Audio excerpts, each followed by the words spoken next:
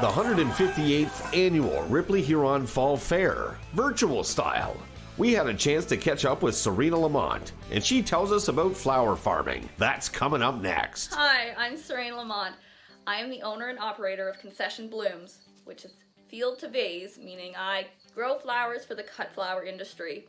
The majority of my flowers I sell at a market. Um, however, some are sold through a subscription service, so people pay in advance and I deliver flowers to them at a scheduled time. And a few of my flowers also go for custom bouquets for events or just to brighten people's days. Um, this flower I'm holding here kind of looks unusual. It is amaranth. So this is one of the varieties I do grow. The ones in the background are also amaranth.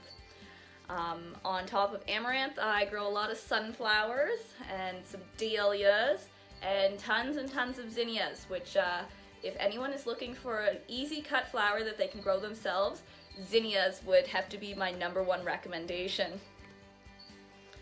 So the Ripley Fall Fair is super important to me. Um, I'm a former Ripley Fall Fair ambassador, and I'm not going to say what year that was because it's going to make me sound older than I want to feel.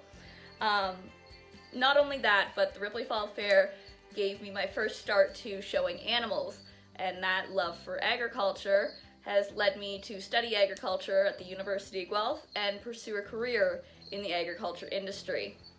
Uh, agriculture is also super important to me because I did grow up on a dairy farm um, that turned into a beef and sheep farm. So celebrating agriculture in our community is super important because we are an agriculture community. So my flower farm started in the beginning of 2021 when I sowed my first seeds. However, it officially started in 2020, the year of the pandemic. Um, with flower farming, you need about a year, you need to be planning a year in advance. So when I'm harvesting flowers, I'm actually ordering seeds for the next year already. And uh, just like tulips, I harvest tulips in the spring and by that point I've already ordered all the bulbs for next year. So uh, flower farmers think about a year to two years in advance when they're flower farming.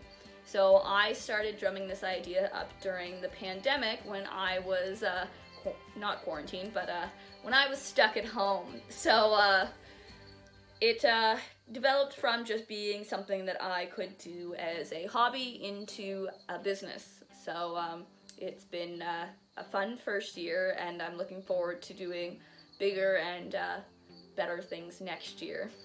So the reason I got into flower farming was to support local. The majority of cut flowers that are sold within Canada and the United States are actually imported from South America or Europe. So growing flowers in Canada helps support the Canadian agriculture business. So if you are going to buy flowers, make sure you request them to be local, whether that be from your florist or if you go direct to a flower farm. It's important that we support our local farmers. And if you want to follow me on social media and tag along for the journey, you can find me at Concession Blooms, with an S, on Facebook and Instagram. And thank you for the Ripley Huron Fall Fair um, organizing committee for doing this. It's uh, great to see um, everyone adapting to the crazy times we're in and uh, still going forward with the Ripley Fair. It won't be the Ripley Fair that we're all used to, but uh, just uh, having this video helps bring community support together.